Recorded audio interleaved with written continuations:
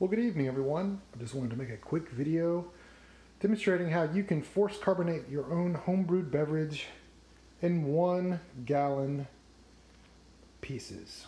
All you really need to have is a one gallon mini keg, the ball lock here. This has got a gas out, liquid out, or gas in, liquid in, however you set it up. You need a tap handle, and you need a regulator, a little miniature regulator.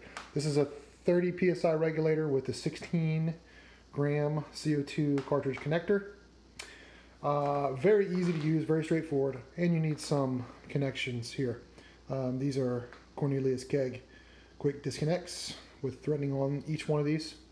Um, all you need to do is first swap the black, um, which is generally meant for liquids, swap the black connector with the gray in the regulator. Take it out, connect it to the liquid. All you need to do is, once you've got it connected, make sure you have a fresh cartridge.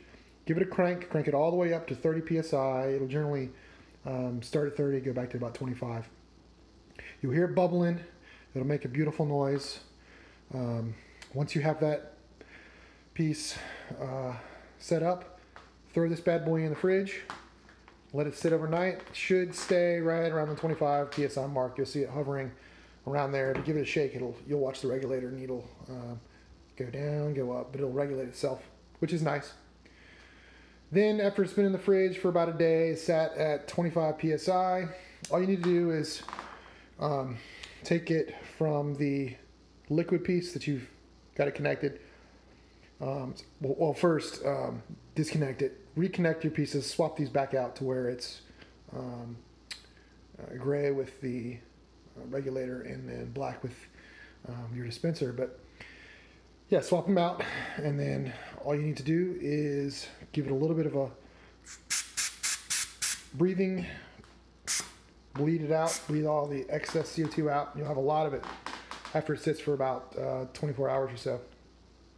Then, once you've got it all bled completely, make sure your regulator is off first. Completely bled.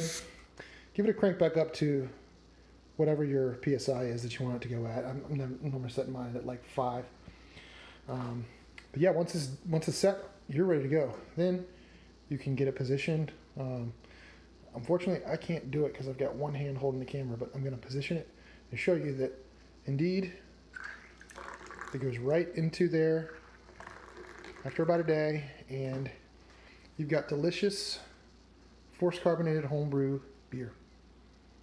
Pretty easy to do and very straightforward to force carbonate and very straightforward to serve. Serving at about 5 psi. So get one of these setups. This cost I'd say about 150 to $200 combined. Um, but once you get that bad boy, you get your own homebrew beverage to your liking. Absolutely good. Have a good evening.